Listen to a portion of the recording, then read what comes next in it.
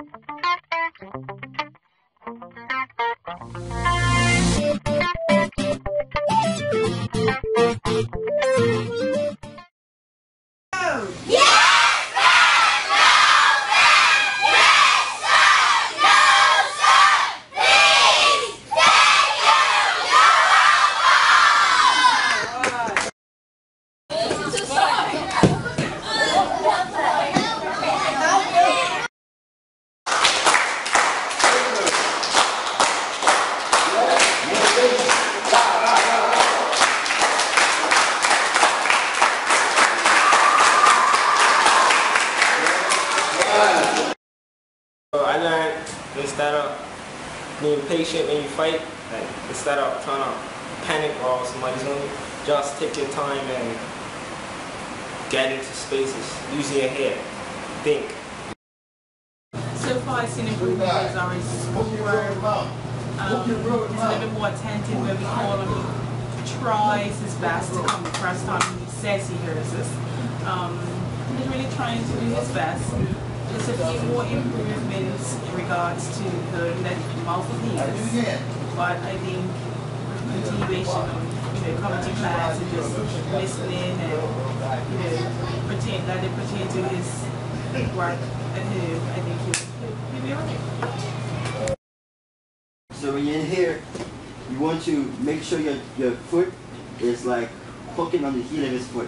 So the curve of your foot in here wants the perfectly with his heel. To stop this foot from going over your leg.